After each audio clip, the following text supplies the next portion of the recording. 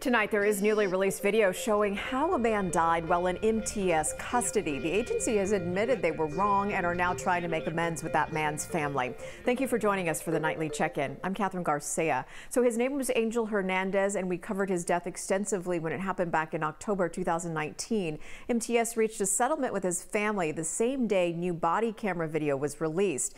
Before you showed the video here, a warning that the images are difficult to watch.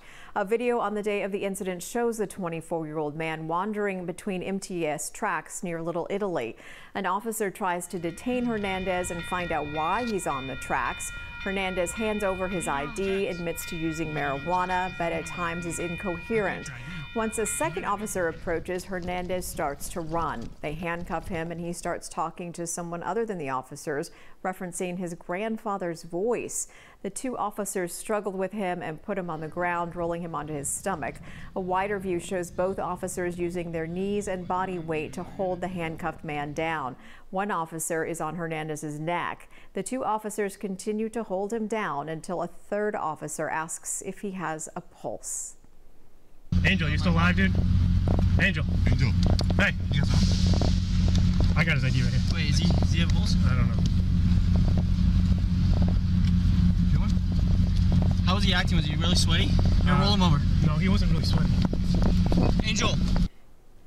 The actions of the officers involved was wrong.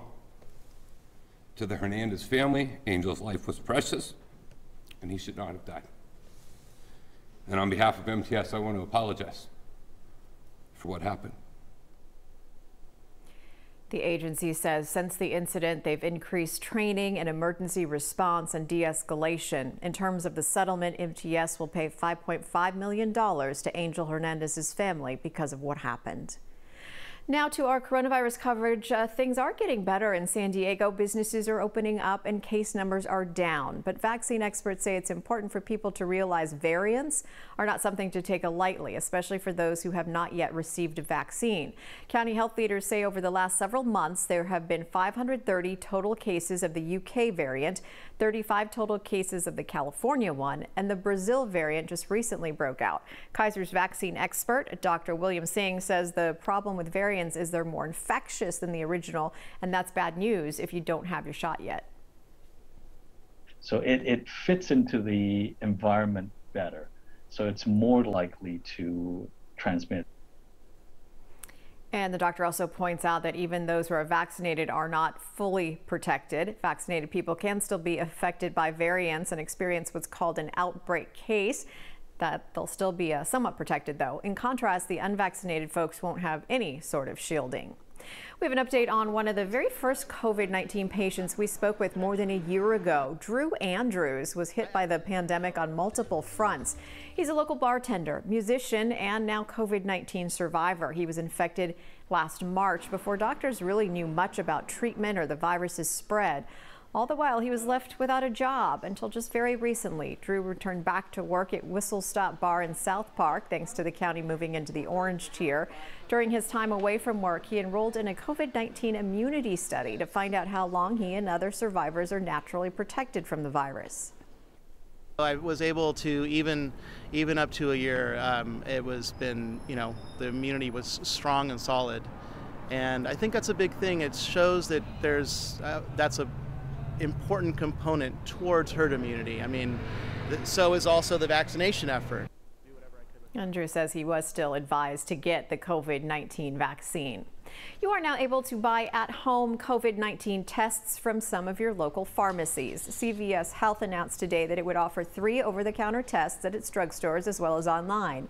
These three separate tests are made by Ellume, Abbott, and LabCorp, which is a home collection kit. Walmart and Walgreens have also announced that they'll sell the tests from Abbott, which delivers results in about 15 minutes.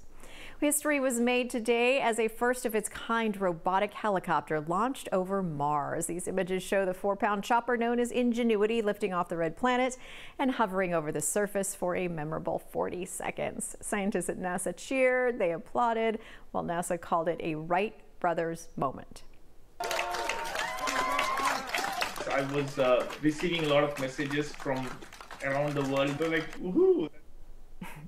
The local company is also making history with this flight after the launch was delayed a couple times because of some technical problems. Robotics chief developer Dev Singh and the rest of the team at Qualcomm finally got the news they'd been waiting for. The codes developed by Qualcomm used to help operate Ingenuity had worked. Ingenuity is the first aircraft in history to make a powered controlled flight on another planet.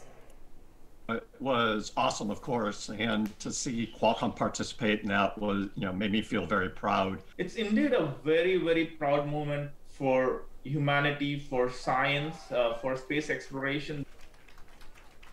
And this is only the beginning. Ingenuity could take flight again as early as Thursday. Before we sign off, here's a quick look at your temperatures. Dagmar has an extended forecast on the weather section on the main menu of our Roku and Apple TV app. That's going to do it for our nightly check in. Have a good night.